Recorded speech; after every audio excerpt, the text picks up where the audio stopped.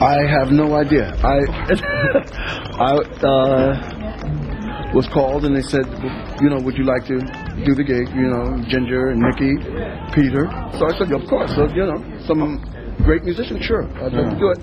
And uh, we got together for a few minutes on Monday, ran through some improvisations, and then tonight we played. Before we went on tonight, we didn't have any plans beyond this tour, but it, I hope things continue. I hope this goes on. Feels very good.